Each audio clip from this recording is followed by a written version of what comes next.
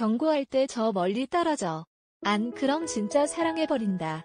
2000년대 초반 누군가의 흑과거가 아닌 이재명 더불어민주당 대선 후보의 사전 투표 동료 영상 속 멘트다.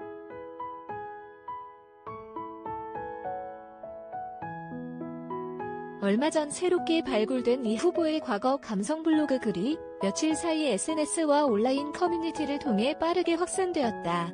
글이 작성된 2006년도는 이른바 싸이월드 감성이 유행하던 시대.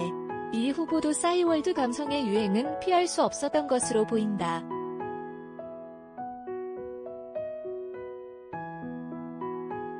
공개된 블로그에 이 후보는 본인의 닉네임을 무지개송어라 소개하는가 하면 오지마, 사랑해버릴 것 같아.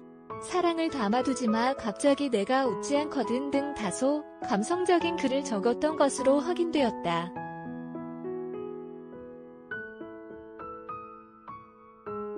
국민일보에 따르면 이 후보 측은 해당 블로그를 이 후보가 직접 운영한 게 맞다고 밝혔다. 민주당 선대위 관계자는 2006년 열린 우리당 소속 성남시장 후보로 출마하며 선거 기간이 포함된 시기엔 선대위 차원에서 블로그를 운영했고 소위 감성글은 첫 선거인 지방선거에서 패한 직후 후보 본인이 관리할 때 게시된 것으로 추정된다고 말했다.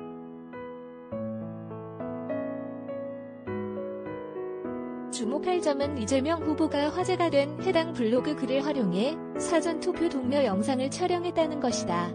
영상 속의 후보는 싸이월드 미니홈피를 배경으로 서서 직접 블로그 글귀를 읽었다. 이 후보는 맘대로 넘어오지 마. 넘어오면 다친다고. 경고할 때 저 멀리 떨어져. 안 그럼 진짜 사랑해버린다. 라며 블로그 글을 읽더니 가끔 사랑을 갈망하는 당신을 위해 당신의 사랑의 감성에 투표하세요라 말하며 사전 투표를 홍보했다. 영상은 성공, 눈물 등의 후보 블로그 속 등장한 감성 키워드들을 모두 포함하고 있다.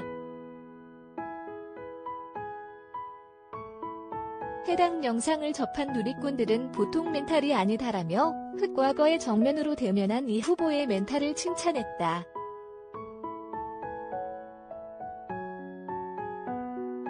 문혜준 기자, 허프커리어@gmail.com